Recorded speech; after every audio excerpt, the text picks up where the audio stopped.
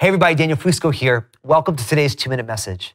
So, we all have felt needs, right? These things that, like, I really feel I need this thing, right? And for many of us, we don't even know what to do with those felt needs. Oftentimes, what we do is we just run after the first thing that we think will satisfy that felt need.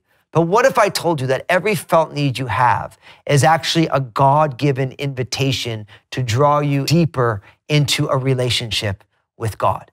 Literally everything that you feel like, I really need that, or I would like that, or I hope I have that, that every single one is meant to be a signpost to point you into a deeper and new relationship with God. Now, I explore this in my book, Upward, Inward, and Outward Loving God, Loving Yourself, and Loving Others. You can get it wherever you like to buy books, whether the ebook version or print book, uh, audio book. I actually read the whole book. There's small group curriculum, there's all sorts of materials out there for you.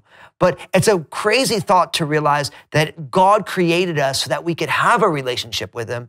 And we do feel all these needs, but all of these needs are actually satisfied in God alone. Now, I know that you might be like, well, I don't know if that's true, but think about it for a little bit because oftentimes the things that we feel we need, it's something relational, and that, that relational needs are always fixed within your relationship with your creator and sustainer, the person who truly completes you, whether it's your need for intimacy or your need for meaning or, or, or your need for, for connection or your need for justice. All these things are actually found in the Lord. And in my book, I explore it in so many different ways. I think it would really bless you. Here's what I want you to do. First, I want you to share this message because everyone feels needs. It's part of the human condition. But we want to get that message out that all of these needs are invitations from God that we might grow. And in the comment section, I want you to share how God is blowing your mind right now. How maybe a certain need that you felt, you're seeing God satisfy that need in the depths of who you are, because your story